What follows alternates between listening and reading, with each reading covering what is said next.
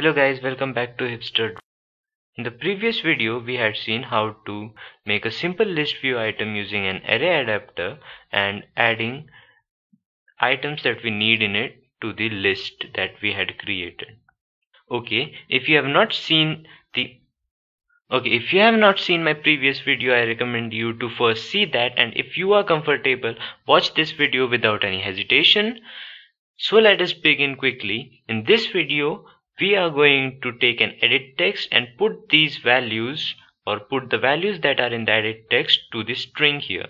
For that, let us quickly make changes to the XML file. Here we will add an edit text match parent and wrap content let us give it an id as et name and give it a hint as name. Now let us take a button wrap content wrap content and id as button add. Give that button a text now as add and bring that button in the center.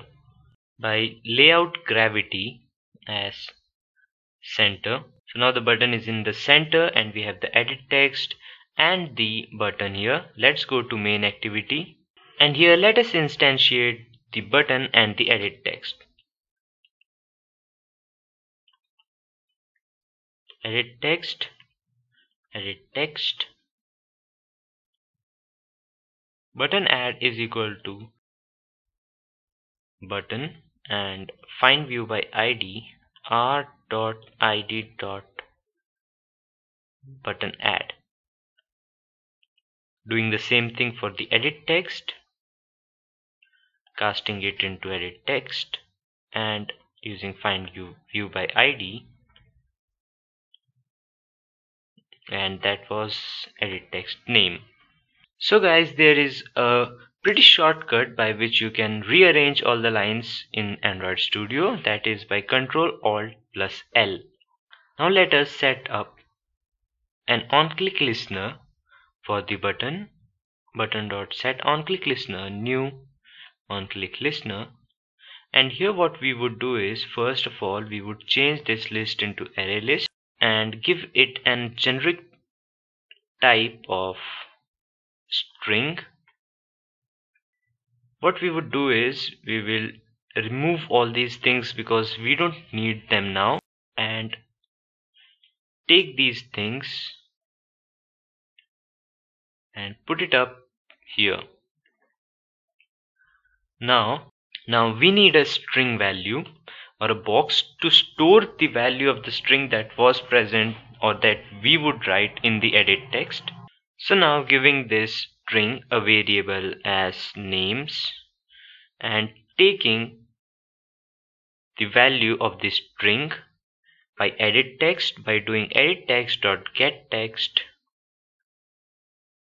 and changing it to string value. Now we have the name and the string value into it. So let us now add that to the list. Dot add name. Now this being done we will add that list view or set the adapter in the list view. Now here it is showing us a error that is variable array adapter is accessed from within inner class. So what we need to do is we need to make this global. So we'll take this and put it up here and let's take the variable and put it right back on its place. If you are not understanding what is being done here just wait and watch the video till the end. I will explain everything in great detail. So after this we need to tell the, to the adapter that the dataset has been changed. For that we say notify dataset changed. And now let us quickly run the app and check whether it works or not. So when we type anything like Baleno, it is added here. If we type Ferrari, let us check you can see the names and or the items are adding in the list view Lambo Tesla. We can also add Rimac. The last two are electric vehicle companies. So you have seen that how to add these. Now let's see what is happening here.